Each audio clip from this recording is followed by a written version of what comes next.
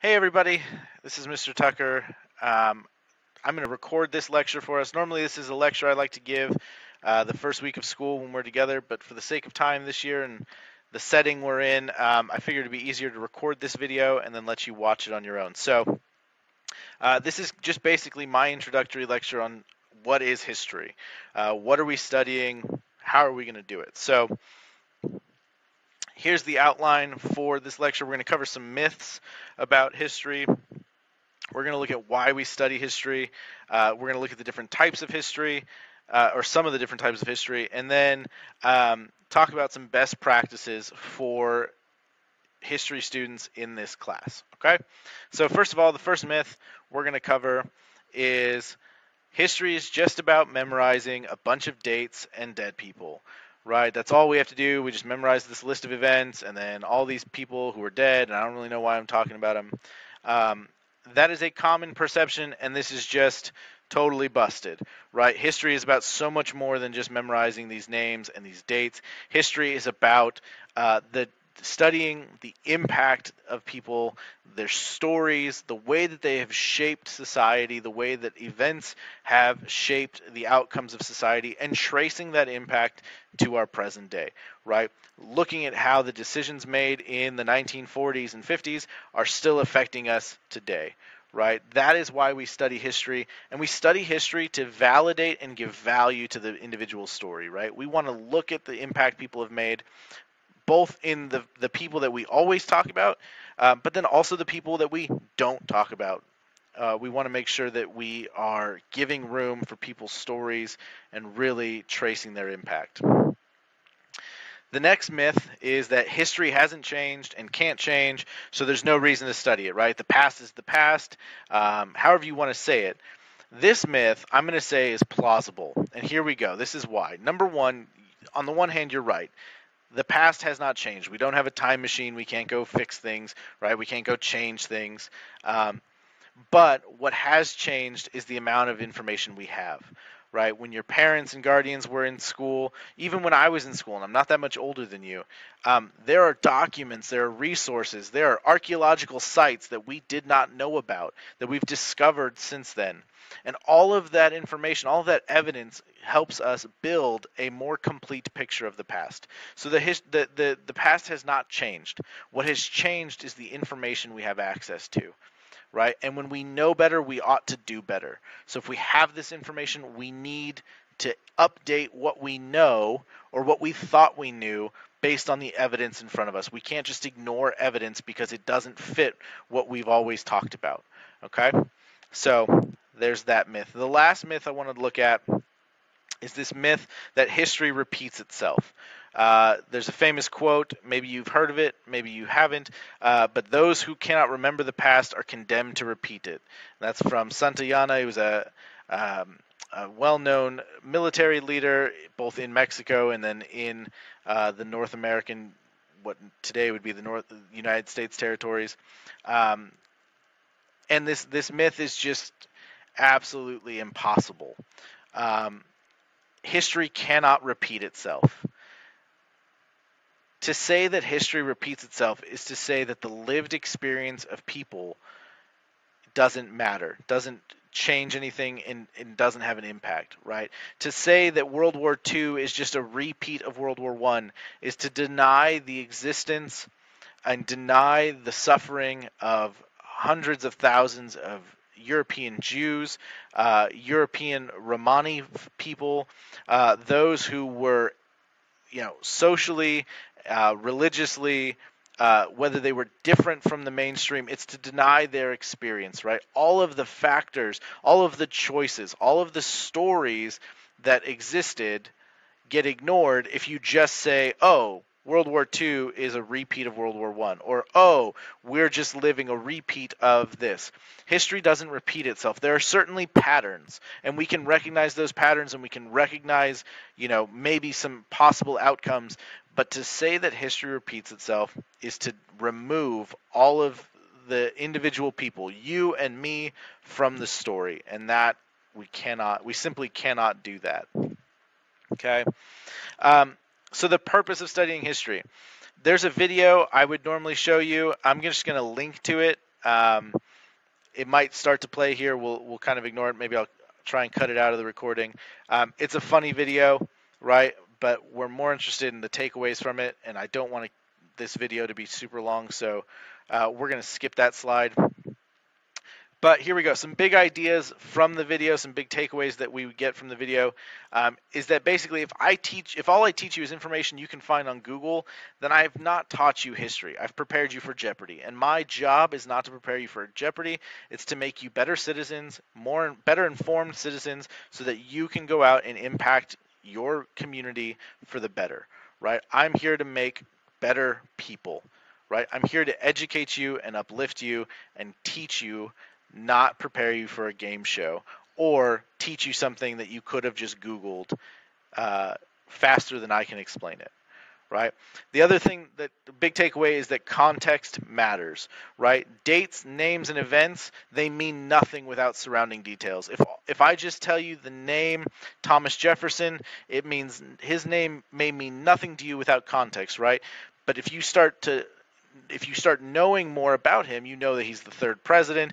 You know that he wrote the Declaration of Independence. You know that he was a slave owner from Virginia who fought hard uh, against um, the initial Constitution and, and the potential uh, that uh, potential decisions early on to try and eliminate slavery. He fought vehemently against those. Um, the context matters. Who these people are matters. The details matters. Uh, matters. Excuse me. Uh, we can learn from the past to avoid making similar mistakes, right, in the future. And that's a future that you are going to be integral in shaping, right? You are uh, probably a year, maybe a year and a half away from being able to vote. That is a major civil responsi- responsibility that I hope you engage with. I hope you take it seriously. Um, but we need to learn what's happened so we can avoid repeating mistakes, right? Not that history repeats, but learn our lessons from the past so that we avoid similar situations, right? If you look around the world and you don't like what you see or you don't like certain aspects and you want the world to change, you're going to have to be the one that changes it, right? It's not somebody else is not going to do it for you. You have to be part of the change. You have to speak up, act up, and be part of that change. Again, we want to do that uh, civilly. We want to do that in respect of laws and in respect of society. But if it's going to happen, it's going to be you. And so, shouldn't you be as informed as possible about the things that have happened before your time? Right? The other thing is learning other people's stories fosters a greater empathy. Empathy is being able to sit with somebody and and say, hey, I recognize the emotions you're feeling. I recognize how this is impacting you. I may not personally have experienced it. I may not know exactly what it feels like, but I can be here with you and I can recognize your uh, suffering or your hardship. History is about reading, writing, analyzing, and thinking critically about the past and tracing that impact to our modern era. We've talked about that, but be ready. In this class, we're going to read, we're going to write, and I need you to think critically. It's not, questions in history are not just a simple yes or no. A word of caution, however, we want to trace the impact of to our present time, right? We want to look at the way events have, have impacted us, but we can't apply present beliefs, ideas, or values to the past. Case in point, we would all agree today that slavery or uh, Jim Crow laws or any sort of discrimination based on somebody's ethnicity, somebody's gender, somebody's um, social orientation, right?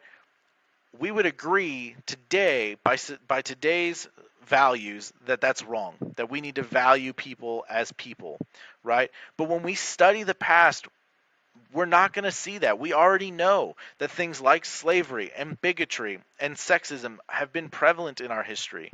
And so that's not to go in and say that oh it was it was it was okay then and now it's wrong. No, we can say confidently that that slavery or uh, discriminating keeping women from being able to vote, keeping uh, minority ethnic minorities from being able to vote. We can confidently say that's wrong, but it's our job to go in and look at why the people believe that or practice that, right? We want to get to their motivation so we can understand why they did the things they did, which will help us better understand those events and then how they've gone forward to impact us today, right? So it's it's it's never enough to go in and say, well, because we believe this today, therefore it was this way back then. We can't do that. We have to study the past, and have to understand their motives and their beliefs in the present time, in their present time, so that we can better understand them and what's happening. We'll go over that later uh, in more depth. But the other thing is that the events that have shaped the world are rarely, if ever, plain or clear cut, or another way of saying that is things are rarely black and white. There is what is called nuance. In, and nuance is the reality of history. It means things are rarely simple, right? There are usually multiple sides to every argument. There's usually multiple viewpoints to every uh, every event. So to simply boil something down in history and say this is bad is is not enough. We need to critically analyze something and say why it's bad, who it's bad for, uh, who benefits from it, but ultimately who is suffering, or why it's good, who's benefiting, and and maybe you know who's not benefiting as much, right? It's it's about nuance. Next up, we're going to look at types of history. Um, and the reason we're going to do this is because there is no such thing as just one giant definition of history, right? Uh, there are many different types of history and many different ways to study history. When you study history in uh, elementary school, middle school, and high school, generally speaking, we teach all of these different histories lumped together in one class. But if you ever study history outside of grade school, if you go to college and you take classes, um, what you'll find is those classes are very specific most of the time. Um, and it's important to know what types of history there are because many students say I don't like history. It's boring or whatever. But maybe you just don't like certain types of history, right? Or maybe you don't like certain topics, but you like other ones. So let's look at it. The other thing you'll notice is on these next few slides, I'm going to introduce the type of history, and I'm also going to show you uh, some historians that are that are active in these fields of history, or in the case of one of them, the founder of one of those schools of thought. Um, and for the most part, these examples are local. These are people you have access to um, right here in the valley. They're at Fresno State. They're you know five minutes away from campus here. Uh, and they're doing this work. They're published authors uh, that other students are reading around the world. So let's dive into it. First of all, there's political history. Political history is the history or the story of government, political leaders, electoral activities, and the making of policy and the interaction between the branches of government, right? So it's studying uh, politics, it's studying government relationships internally, right? Um, and so the uh, chair of the history department at Fresno State, Dr. William Skuban, uh, he is a political historian. He studies primarily uh, political history in Latin America, looking mostly at uh, Ch- uh, Chile and Peru. Um, but he is a political historian. He's looking at the role of government and political leaders or in elections, policy making. He's looking at those relationships and that trans that that change over time. As opposed to somebody like Dr. Lori Clune, who's also at Fresno State, she's a Cold War historian. She studies primarily diplomatic history, the study of relationships between nations, right? The the the relationship that the United States has to say Cuba or the history the the, the relationship the United States has to uh, the so- former Soviet Union or Russia today, right? She's interested in those diplomatic relationships, so not the internal relationships of the nation, but those relationships abroad. Then there's social history. Social history is the study of uh, ways and customs of family, education, children, demography, which is population change, uh, and voluntary institutions like the church. It's the it's the study of how those institutions shape us, change us, and change society. Right. Dr. Carter G. Woodson's considered the father of social history. Uh, this is a pretty popular type of history, right? Um, and one that may excite you. You may not like any other history, but you may like studying the way that certain family values have shaped different areas or different people. Then there's cultural history. It's the study of language and its uses, or of the arts and literature and sports, entertainment, and memory in constructing cultural categories. Uh, again, from Fresno State, Dr. Ethan Kytle and his wife, Dr. Blain Roberts, uh, they study, they, their most recent work is Denmark Vesey's Garden. Uh, it's a book on the memory of slavery in the Confederacy, in the cradle of the Confederacy, as they put it. So they're tracing the memory of slavery and the role of slavery and the memory of that uh, in the lives of people as it has shaped the South, looking at Reconstruction up to even the present. The last two that we're going to talk about uh, is economic history, right? So it's the study of how an entire system of production and consumption works, or of markets, industry, credit, right? It's looking at money. It's looking at the way money and markets uh, influence society and have caused change over time. And then there's intellectual history, right? So it's the study of ideologies or epistemologies. It's analyzing how an idea affects human actions, right? So how people's beliefs or an idea has trans, transformed history, right? The last one that I, I don't have a slide for because I think it's one we're we're pretty familiar with. It's military history. It's what a lot of people think of when you turn on the History Channel, and it's a never-ending, uh, you know, documentary on World War II, followed immediately by a never-ending documentary on World War One. Wash, rinse, repeat over and over and over again, right? We're very familiar with military history. It's the the history of studying troop movements and battle scenarios and strategies, right? It's not my favorite type of history, right? And so that's what I hope you find is that history is not just one thing. I don't love studying military history, but I love studying cultural history. I love studying political history.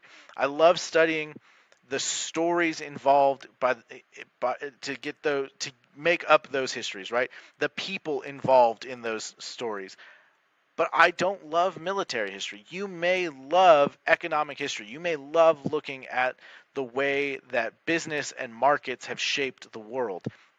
That may be what you love.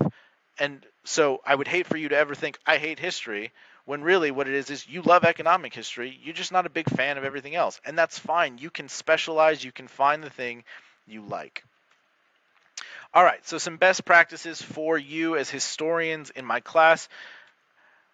I'm not going to read all of these. Some of these we went over with the syllabus, but I'm going to hit on a few key things. Number one, um, remember, this is a partnership, right? I'm I'm learning alongside of you. If I'm asking you to read something, just trust me. I've read it at least once, probably twice, if not more. Um, and so when I ask you to be prepared and to participate, believe you me, I'm putting in the work as well. The next one I want to hit really is this this big idea down here. This agree with class, disagree with dignity, right? In Clovis we say win with class, lose with dignity. In my class we're going to say agree with class, disagree with dignity. We might have disagreements, we might have arguments, and that's okay. We don't have to agree at the end of the day. We don't all have to think the same thing. But when we disagree, we're going to disagree with dignity. We're not going to tear each other down or belittle each other. We're going to respect one another as fellow scholars. Okay. And when we argue, we are going to remove the emotion from our argument. In history, um, something you never want to lead with is I feel this, right?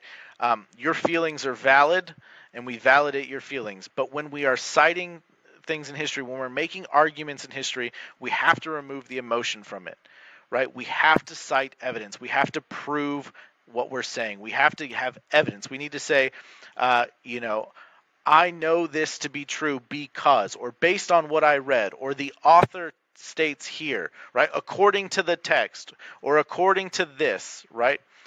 Um, we need evidence to prove what we're saying, not just that we feel strongly about that thing, okay? All right.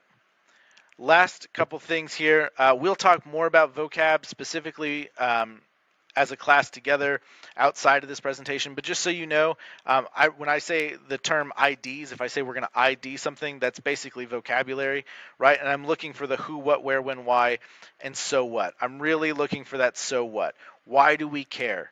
Why did I bother to study this? Why did I bother to ask you to do this? Why is this event or this person important enough that we're talking about them, right? That's what I'm really concerned about. If you can tell me the who, what, where, when, why, that tells me that you're at least in the ballpark, right? You at least have an idea of what this thing is. But if you can tell me the so what, then I know that you got it. I know that you understand what's happening. Okay? Um, and then in this class when we write dates. Okay, this is just a little pro tip for you, right? Um, in world history, you can usually get away with identifying the century, right? We, world history covers the scope of thousands and thousands of years, and so to simply say, oh, in the fourth century, right, is usually okay. You usually get away with that. the United States has only been around for 244 years. So we have to be a little more specific with our dates, right? It's a little it's way more common to, for you to say in 1966 or from 1960 to 1965, right? Um, that is going to be important. At the if you can't give me specific years, then you at least need to be in the correct decade, right? So maybe uh, when you're describing something, you don't remember the exact year, but you know it was in the 1960s. So then you would say in the 1960s, right? Um, and then we're absolute worst case scenario, if you don't remember the exact year and you don't remember the the decade, um, maybe you remember that it happened sometime during Abraham Lincoln's presidency, right? So you tell me, you know, during the Lincoln presidency, um, or maybe you remember it happened, uh, you know, during World War II. So you might say during World War II, right? Give me context, but you need to give context for time. We need to give context for when things are happening. And in U.S. history, that usually means a specific date. But again, if you can't remember the specific date, there are options. Okay. All right. So that is this presentation. Again, we'll talk about this a little bit as a class. I want you to watch this on your own um, and and just have an idea. But if you have questions, please contact me. Um, if something doesn't make sense, please contact me.